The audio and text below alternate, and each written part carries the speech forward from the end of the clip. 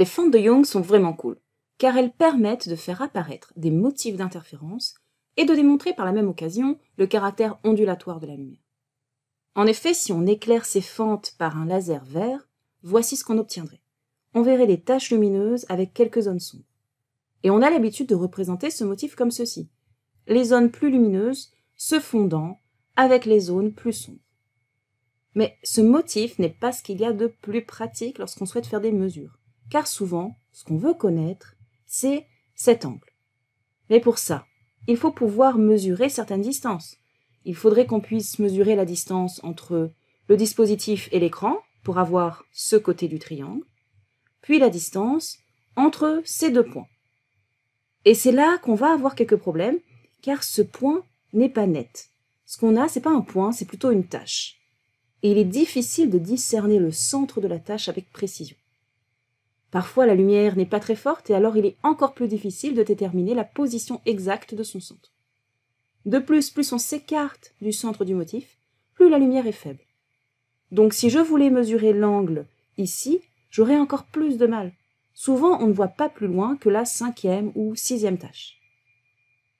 Alors ici, il y avait une meilleure méthode. Si on arrivait à faire apparaître ces tâches plus clairement, avec une plus grande luminosité. Eh bien, on sait le faire. Il suffit pour cela de rajouter des fentes dans le dispositif. Supposons que l'espacement entre les deux fentes initiales soit égal à d. On va ajouter une autre fente avec le même espacement d ici, puis une autre là, toujours avec un espacement égal à d, et encore une autre. Ainsi de suite, je vais créer jusqu'à 1000 fentes très rapprochées les unes des autres, mais toujours espacées de la même distance d. Et alors, voici ce qu'on obtient sur l'écran. Au lieu d'un motif fondu, on obtient des points bien définis, avec un point ici, puis une zone sombre, un autre point là, puis du sombre, puis un point, puis du sombre, puis un point, puis du sombre, et ainsi de suite. Et à la différence des fentes de Young, ce motif se poursuit beaucoup plus loin. Mais pourquoi est-ce qu'on a cela? Eh bien, essayons de comprendre. La première onde, qui passe par cette fente, va parcourir une certaine distance jusqu'à l'écran. Par exemple, si on regarde un point d'interférence constructive ici. Imaginons que, comme au début, on n'ait que ces deux fentes. Ce point lumineux correspondrait à un delta x, une différence de marche égale à une longueur d'onde. Cela voudrait dire que l'onde qui sort de cette fente, de ce deuxième trou, parcourt une longueur d'onde de plus que l'onde qui sort du premier trou. Et cet écart de distance parcourue se retrouve ici. Si on trace une ligne perpendiculaire au deuxième trajet en partant du premier trou, on retrouve delta x ici. Et donc ici, c'est une longueur d'onde. Et comme la deuxième onde parcourt une longueur d'onde de plus que la première, on a une interférence constructive. Et oui, regarde ce qu'il se passe. Je vais représenter là la première onde comme ceci, et imagine que lorsque l'onde parvient à l'écran, on se trouve à ce point-là du cycle, à un maximum. Ça pourrait être un autre point, mais on va prendre un maximum pour la démonstration. Et alors la deuxième onde, comme elle a parcouru une longueur d'onde de plus, eh bien quand elle va atteindre l'écran, elle va se trouver en ce point-là. Et donc les deux ondes atteignent l'écran au même point du cycle. Elles se superposent parfaitement. Et on a une interférence constructive. Quand on a un pic superposé avec un pic, on a une interférence constructive. Et ce serait la même chose si on avait un creux superposé avec un creux. Maintenant, que se passe-t-il si on ajoute une troisième fente Et c'est là que ça devient intéressant.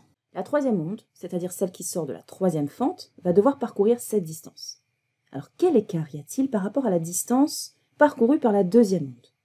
On fait comme avant. On va tracer la ligne qui part de cette fente et est perpendiculaire au trajet. Or, quand on a le même angle ici, vu que l'espacement est le même, l'écart de distance ici est le même, on a une longueur d'onde. Souviens-toi, on avait obtenu la formule suivante. d sinus est égal à la différence de marche. Et θ est identique entre deux fentes consécutives. On pourrait donc aussi considérer la différence de marche entre ces deux ondes. Celle-ci parcourt une longueur d'onde de plus que la deuxième, donc elle parcourt deux longueurs d'onde de plus que la première. Donc la deuxième et la troisième onde forment une interférence constructive, car elles ont une longueur d'onde d'écart. Et la première et la troisième onde forment aussi une interférence constructive, car elles ont deux longueurs d'onde d'écart. En effet, regarde, la troisième onde en est là lorsqu'elle atteint l'écran. Ainsi, toutes les ondes se superposent exactement en ce point-là. On peut continuer comme ça avec toutes les fentes. La quatrième onde va parcourir une longueur d'onde de plus que la troisième, ou deux longueurs d'onde de plus que la deuxième, ou trois longueurs d'onde de plus que la première. Et à chaque fois, elle se superpose exactement ce point-là du cycle. Résultat, on obtient un point lumineux extrêmement brillant, car le nombre d'ondes qui se superposent est démultiplié du fait du nombre de fentes que contient le dispositif. On a un point d'interférence constructive parfaite. Mais alors, que se passe-t-il ailleurs? Dès qu'on s'écarte de ces points d'interférence parfaits. Alors là, ça va devenir vraiment très intéressant cette histoire, tu vas voir. Alors on va s'écarter, même très peu, de ce point d'interférence constructive. Par exemple, on va se placer là. Eh bien, regarde ce qu'il se passe. L'onde qui sort de la première fente, on l'appelle onde 1, va parcourir cette distance. L'onde 2, qui sort de la deuxième fente, cette distance-là. Eh bien, cette fois, la différence de marche ne va plus être égale à une longueur d'onde. Il va y avoir, par exemple, 1,1 fois la longueur d'onde. Imaginons que l'onde 2 ne parcourt pas une longueur d'onde de plus, mais une longueur d'onde et 0,1 longueur d'onde de plus que l'onde 1. Donc si l'onde 1 arrive sur l'écran en ce point-là, l'onde 2 arrivera en ce point-ci. Non pas une longueur d'onde plus loin, mais une longueur d'onde plus ce petit bout en plus. Alors comme je n'aurai pas assez de place pour représenter toutes les ondes suivantes sur cette courbe, je vais simplement indiquer sur ce premier cycle à quel endroit chacune des ondes se trouve lorsqu'elle atteint l'écran. Donc une longueur d'onde et 0,1 longueur d'onde plus loin, ça nous donne ce point-là. Donc l'onde 2 se trouvera là lorsqu'elle atteint l'écran.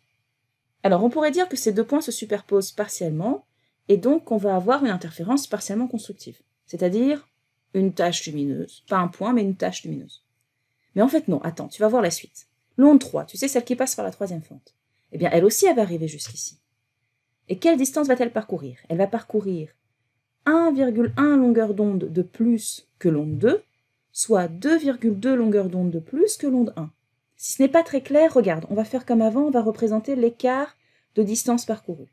L'onde 2 parcourt une longueur d'onde et 0,1 longueur d'onde de plus que l'onde 1. L'onde 3 parcourt une longueur d'onde et 0,1 longueur d'onde de plus que l'onde 2. Donc la différence de marche entre l'onde 1 et l'onde 3 est deux longueurs d'onde et deux fois 0,1 longueur d'onde, soit 2,2 longueurs d'onde. Alors où est-ce qu'on se trouve sur l'onde? Eh bien, une, puis deux longueurs d'onde plus loin, puis 0,2 longueurs d'onde encore plus loin. Eh bien en fait, on se trouve un peu plus bas sur cette pente, c'est-à-dire ce point-là sur le cycle. En fait, on peut continuer comme ça pendant longtemps, vu que ce dispositif contient des milliers de fentes. Je vais en représenter juste deux de plus, par exemple, cette quatrième onde, elle, elle va parcourir cette distance. Tu vas commencer à voir ce qu'on va obtenir, regarde. Cette onde va parcourir 1,1 longueur d'onde de plus que l'onde 3, soit 2,2 longueurs d'onde de plus que l'onde 2, soit 3,3 longueurs d'onde de plus que l'onde 1. Donc si je compare l'endroit où se trouve l'onde 4 à l'endroit où se trouve l'onde 1 lorsqu'elles atteignent l'écran, eh bien en fait on voit que l'onde 4 sera à 0,3 longueur d'onde du maximum de l'onde 1 donc ici à peu près. Et l'onde suivante sera à 0,4 longueur d'onde du maximum de l'onde 1. Et la suivante sera à 0,5 longueur d'onde. La suivante à 0,6 longueur d'onde. Puis on en a une à 0,7 longueur d'onde. Puis 0,8 longueur d'onde. Puis 0,9 longueur d'onde. Et puis 1. Là, ça me ramène à une longueur d'onde d'écart. Et alors, je retombe sur un maximum. Mais que va-t-on obtenir lorsque toutes ces ondes se superposent? On est ici à cet endroit légèrement décalé du point d'interférence constructif parfait. Qu'est-ce qu'on va avoir ici? Eh bien, regarde, on peut en fait associer ces ondes deux par deux. Ce point-ci et ce point-là vont produire une interférence complètement destructive. On a un maximum et un minimum, donc la superposition des deux donne zéro. Puis si on associe celle-là et celle-ci, elles vont aussi s'annuler et former une interférence destructive. Et on peut continuer comme ça en associant celle-ci et celle-là, de nouveau, on aura une interférence complètement destructive. Résultat, l'un dans l'autre, on va avoir zéro luminosité, car chaque onde a une jumelle qui cause sa disparition. Ainsi, dès qu'on s'écarte du point d'interférence constructif parfait, de ce point magique, qui correspond à une différence de marche égale à un multiple entier de la longueur d'onde, eh bien on n'a plus rien. On a le noir le plus total. Donc au lieu de ce motif avec des zones floues qui se fondent les unes aux autres, on obtient cela, un point lumineux, puis un autre point, puis un autre point. Et entre ces points, on a des franges sombres, totalement noires. Et c'est ça qui est génial, car grâce à ça, on peut faire des mesures bien plus facilement. Et pour cela, il a suffi simplement de multiplier le nombre de fentes par 100, voire 1000, car plus il y a de fentes, plus il y a de chances d'avoir une onde qui va entrer en interférence destructive avec une autre. Et c'est pourquoi, ici, entre deux zones d'interférence constructive parfaite, eh bien c'est le noir total. Ouais, au début, moi, j'étais pas tout à fait convaincu par cette explication. J'ai dû y revenir plusieurs fois avant que ça fasse réellement sens pour moi. Donc, ne t'inquiète pas si ça ne te paraît pas clair dans l'immédiat. Persiste un peu, reviens un peu plus tard sur cette vidéo et tu verras au bout d'un moment, tout va devenir beaucoup plus clair. J'ai fait ici de mon mieux pour essayer de représenter ce qui se passe, mais je dois avouer que c'est une notion difficile à appréhender. Quoi qu'il en soit, ce système est extrêmement utile. Grâce à cette multitude de fentes, on obtient une figure d'interférence avec des points lumineux, bien nets, clairement séparés. Et maintenant, je peux mesurer cette distance avec une plus grande précision, sans devoir deviner où est le centre de chaque point. Il n'y a plus de zone floue entre deux points lumineux. Et alors, il y a un autre avantage à ce dispositif. Comme il y a vraiment beaucoup de fentes, cette luminosité dure plus longtemps. Et en plus, on peut voir un plus grand nombre de points lumineux. Il y a tellement d'ondes en interférence que je peux observer plus de points lumineux et en plus, ces points sont très lumineux. Alors, tu dois t'en douter, ce dispositif, on lui a donné un nom. Eh bien, on parle de réseau de diffraction. Les réseaux de diffraction sont en fait bien plus utilisés que les fentes de Young, car ils permettent des mesures bien plus précises. Alors, est-ce que tu sais combien de fentes compte un réseau de diffraction? Eh bien, en fait, on indique généralement le nombre de traits par centimètre. Trait ou fente, c'est pareil. Chaque fente, ou chaque espace entre deux fentes forme un trait.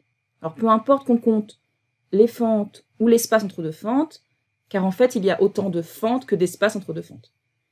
Eh bien, souvent les réseaux de diffraction utilisés par les scientifiques comptent des milliers de traits par centimètre.